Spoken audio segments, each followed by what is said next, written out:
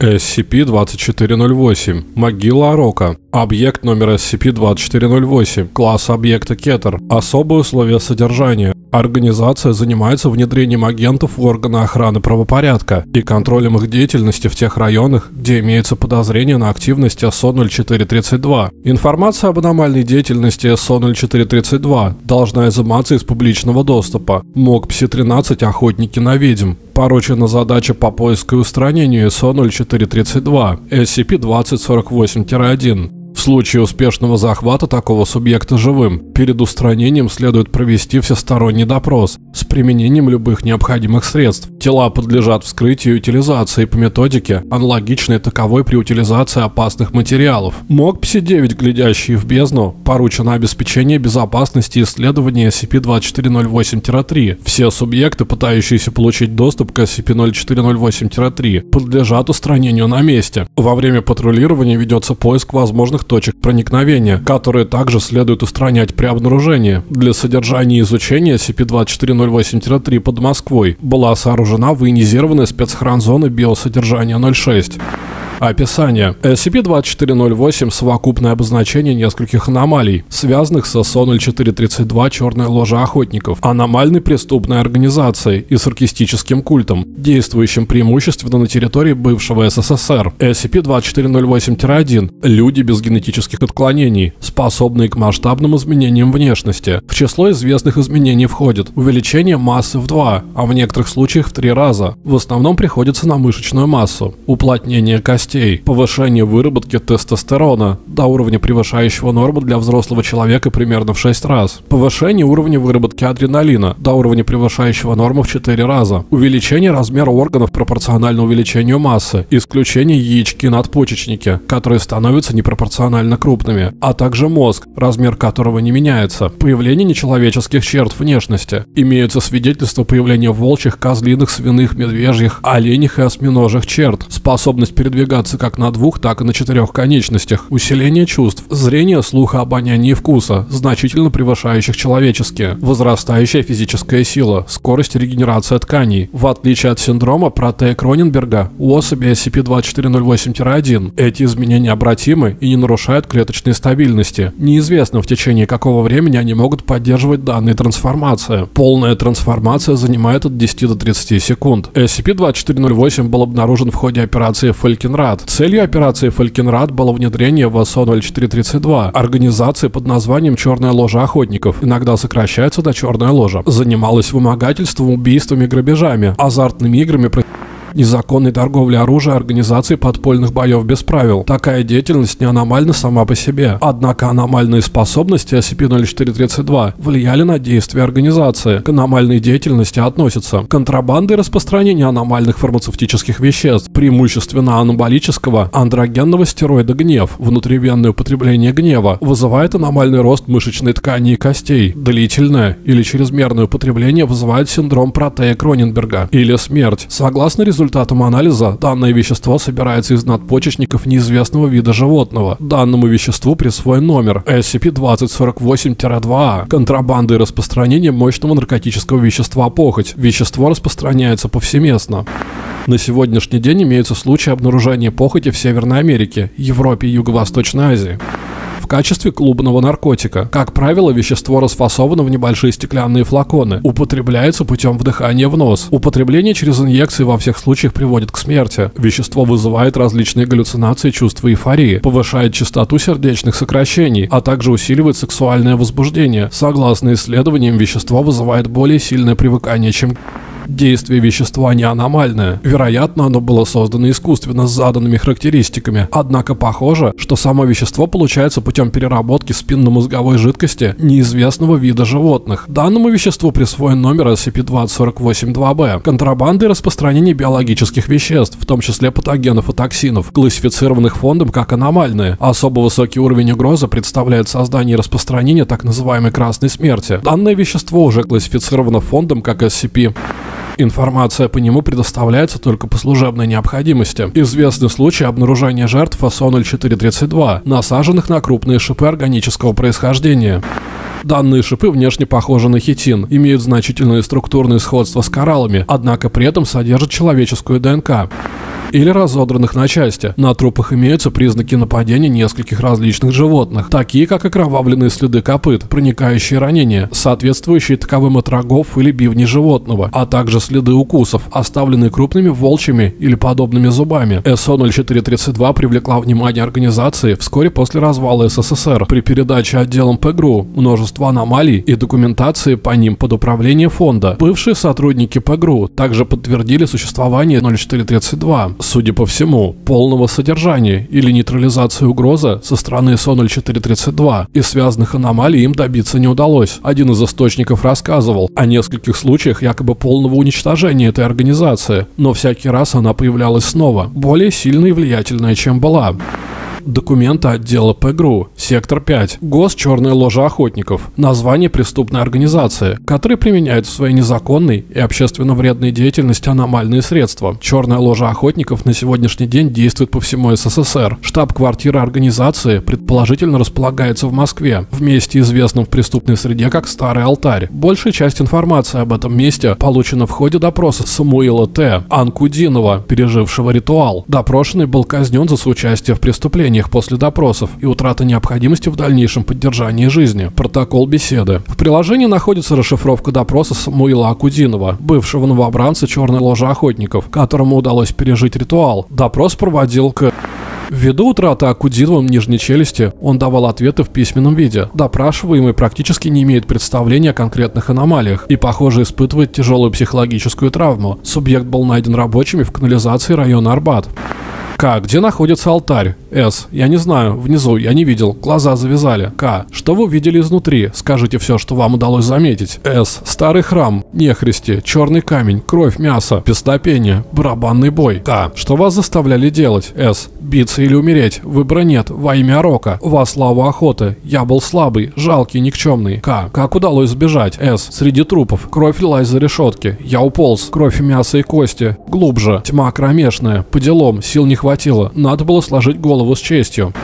11 апреля 1994 года агенту МОК ПСИ-13 «Охотники на ведьм» было официально поручено внедриться в ряды СО-0432 в рамках операции «Фалькенрад». МОК ПСИ-13 – глубоко засекреченная совместная опергруппа фонда ИГОК, созданная в рамках проекта СИТА-АХРА. Задачей МОК ПСИ-13 является внедрение в саркицистические Саркицизм – религиозно-философская система, которая включает в себя разнообразные традиции, верования и духовные практики, главным образом основанные на учениях, приписываемых великому карцисту Иону, ее обожествляемому основателю. Адепты практикуют ритуальный каннибализм, человеческие жертвоприношения, модификации тела, так называемое мастерство плоти, манипуляции пространством и тауматургию. В отличие от протосаркицизма, адепты неосаркицизма без опаски относятся к технологиям и могут обитать в густонаселенных местах, не выделяясь в повседневной жизни среди других людей своей культуры и социального статуса организации, а также устранение высокопоставленных членов этой организации. В рамках проекта Сита Ахра оперативников МОК-ПСИ-13 обучают приемам борьбы с оккультными воздействиями и применению едких и зажигательных боеприпасов. Каждому оперативнику выдается табельный пистолет Sig Sauer P226 в модификации для стрельбы такими боеприпасами. Агент с действовал под псевдонимом Доминик Мышкин в Москве в качестве наемного убийцы с целью создания репутации в криминальной среде, чтобы затем привлечь внимание Содуль 432. 20 января 1995 года с агентом С связались члены СО 0432 и дали ему указание посетить клуб «Красные фонари». «Красные фонари» — это популярный ночной клуб для взрослых, расположенный в районе Гальянова. Клуб является прикрытием для черной ложи. Имеется основание подозревать заведение в принуждении к занятию проституции, работорговле и незаконном распространении наркотических веществ, зачастую аномальных. Считается, что органы охраны правопорядка не вмешиваются из-за коррупции и устрашения со стороны связанной организации. Поскольку задание требовало особой аккуратности, агент не имел при себе записывающего устройства. Передача информации в фонд осуществлялась с применением тайниковых закладок. Агент помещал донесения, написанные симпатическими чернилами, в емкости с алкогольного напитка, например, в пивную бутылку, после чего выбрасывал ее в определенный мусорный контейнер, неподалеку от места проживания. Агент Антон Миронов, замаскированный под лицо без определенного места жительства, обыскивал контейнер, извлекал бутылку с донесением, делал фотографию, после чего уничтожал оригинал. Изображение затем передавалось в фонд в электронном виде по зашифрованному каналу. 25 января 1995 года агент Вошел в ночной клуб, имея при себе пистолет Sig Sauer P226. По свидетельствам, к агенту подошел охранник и после краткого разговора сопроводил его внутрь. Находившийся внутри клуба агент сообщил, что с провели в VIP-ложу, находившуюся под основным помещением. Агент вышел из клуба только 29 января 1995 года в 8 утра, примерно в 21 час. На место закладки была заброшена бутылка с донесением. Донесение от 29 января 1995 года. Прошу прощения за задержку. Начну по порядку. Меня привели наверх, к круглому столу, за которым сидели шестеро мужчин и одна пожилая женщина. В дальнем от меня краю стола сидел Дмитрий Волков по кличке Зверь, главарь связанной организации. Он велел мне присаживаться. Я послушался. У него зловещий вид, накачанный, никогда не улыбается и не снимает солнечных очков. Полагаю, что остальные тоже были из верхушки, но по большей части они молчали. Он сразу взял быка за рога. Сказал, что приятно видеть человека, способного на мокрое дело. Новая кровь желает пролить кровь. Так он выразился. Волков сказал, что он в курсе, что братвы у меня нет. Работать в Москве одиночку опасно и случается редко. Я ответил ему, что несколько раз предлагали. Но, цитата, «на тех хуесосов не стоило тратить время». Его ответ можно изложить так. Думаешь, крутой, языком молоть мастер, но мне кажется, ты просто очередной тупой пидюк, который вот-вот ложанется в последний раз. Считывать его было сложно, и речи невербальные признаки были жесткими, но вряд ли агрессивными. Я сказал ему, что те банды были слабыми, примерно так. А что мне на шестерок размениваться? Первая женщина склонилась к Волкову, что-то прошептала ему на ухо. У нее была примечательно бледная кожа, покрытая необычными татуировками, крайне нехарактерными для русской женщины ее возраста. Это заставило меня нервничать гораздо сильнее, чем остальные быки. Он сказал, кровь у тебя неправильная корова в лагерной среде, откуда, как считается, идут корни связанной организации. Этим словом обозначается заключенный, которого берут с собой в побег, чтобы съесть, находясь в незаселенной сибирской местности, без других источников пищи. Учитывая историю и репутацию связанной организации, это значение считается наиболее вероятным.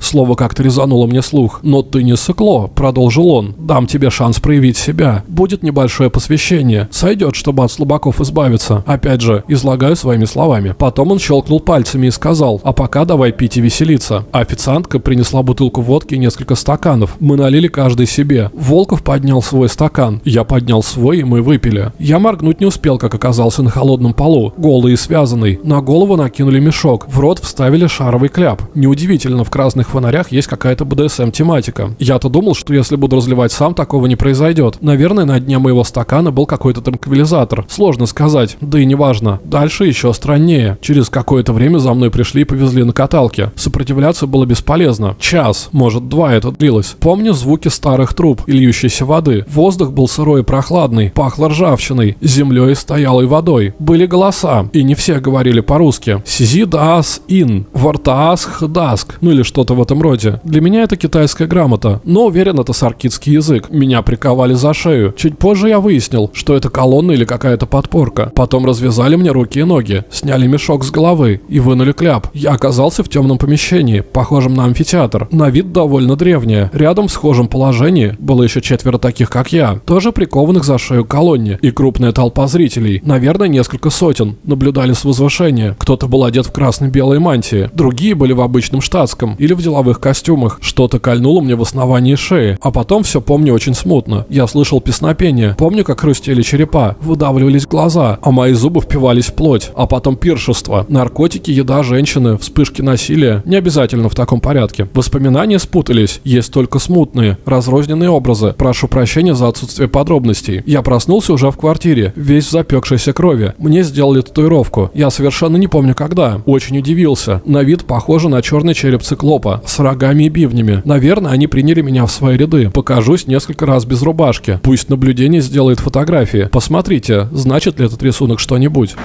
В дальнейшем организация получала донесение от агента с один раз в две недели. Донесение от 4 февраля. Вероятное прикрытие связанной организации. Дом 94. Геленджик. Краснодарский край. Первое дело. Контрабанда оружия. Появился новый компромат на Абраксис Армс. Компания, долгое время подозреваемая в связях с аркицистами. Помимо этого докладывать особо не о чем. Черная ложа очень во многом похожа на обычную братву. Бычье, простое как ботинок, и алчность – главный мотиватор в жизни. При этом они гаже, а это много значит. Ниже, чем братва, уже просто некуда. Они растеряли те немногие осколки чести, которые у них сохранились после Сибири. Матушки Согласно имеющейся гипотезе, эти матушки являются валутаар, высокоранговыми адептами саркицизма, которые служат тому или иному карцисту в качестве советника. Такие, как здесь, в мире организованной преступности не встречаются. Боевики зовут их ведьмами, каргами, старухами и так далее. Но только за глаза. Влияние саркицизма на них очевидно. Их 12. Друг друга они называют сестрами. Видимо, жрицы. Все одеты одинаково. В черные сарафаны, с заляпанным кожаным фартуком. И красно-белая шаль на голове и плечах. Всегда ходят босиком. Множество татуировок. Они не карцисты. Карцисты – духовные светские лидеры саркицистических организаций. Карцисты считаются биологически бессмертными и могут иметь разный внешний вид и аномальные способности. Предполагается, что контроль над своими халькост они способны осуществлять при помощи выделения сложных феромонов. Но все же имеют немалый вес в черной ложе.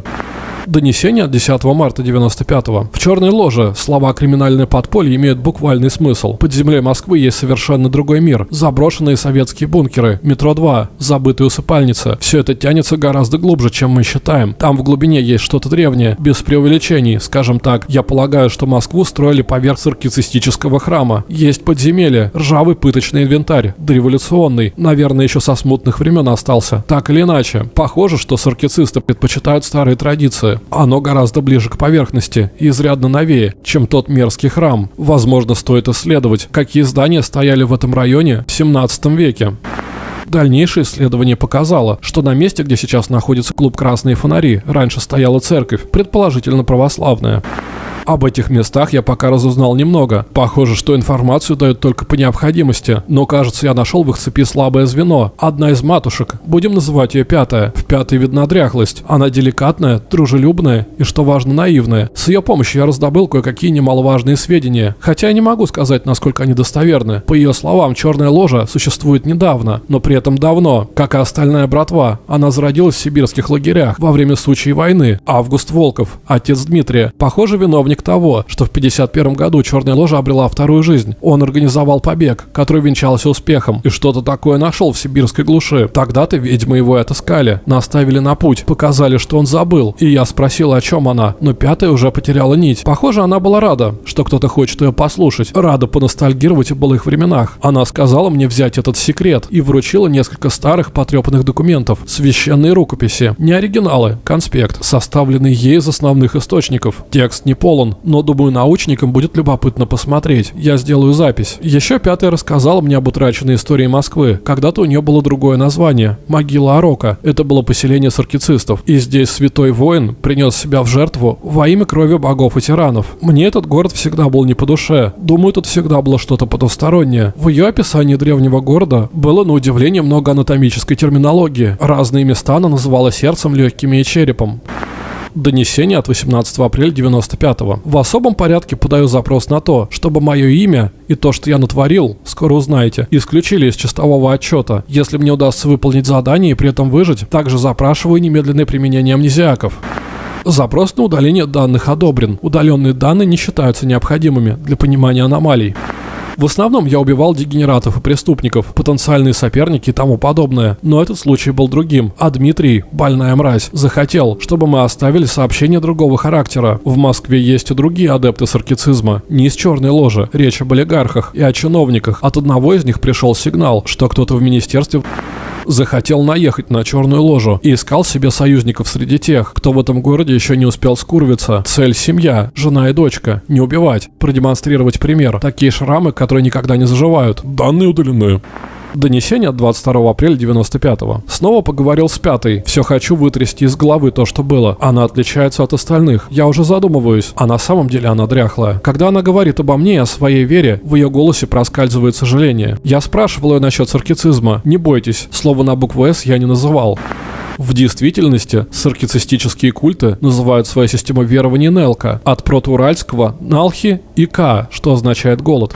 Когда она мне говорит про Иона, я снова чувствую себя ребенком, словно слушаю, как бабушка рассказывает мне про Иисуса и древних пророков. Она чудная, и как и моя бабушка, пропускает те части, где происходят убийства и пытки во имя великой цели. Я не исследователь, не историк и не теолог, ничего такого, но мне кажется, что этот циркицизм не таким образом зародился, хотя, думаю, это относится к большинству религий. Пятая рассказывает мне о чести, о дружбе, о добродетели и обретении свободы. Добрый оленей народ, адиум против злобных девов. Она стара, но Но, думаю, Вера изменилась задолго до ее появления на свет. Возможно, она по-другому трактует тексты. Возможно, ошибается, когда видит добро, под нагромождением безумия и непотребств. Тут я ее понимаю. Все всегда то же самое. Очередная неудавшаяся революция. Как бы то ни было, полагаю, пятое исключение. Возможно, потому она мне и доверилась. А остальные, когда говорят о матушках, рассказывают, что те видят глубоко. Иногда я гадаю, знает ли она, кто я такой на самом деле. А то, чему меня учили, приказывает ее устранить. Думаю, пока не стану слушать. Кроме того, нет смысла лишать себя такого источника информации. Пока что нет. По скриптам. Арена. Она не только для инициаций. Кровавая забава под маской ритуала. Или наоборот, ритуал под маской кровавой забавы. Входит шестеро, выходит один. Полно желающих понаблюдать и сделать ставки. Многие одеты в звериные черепа и безупречные деловые костюмы миллиардеров. Пятое это не слишком-то и нравится. Примерно так люди жалуются на то, что Новый год стал праздником потребления. Я знаю, что черная ложа считается неосаркицистической. Но матушки, со всей очевидностью, это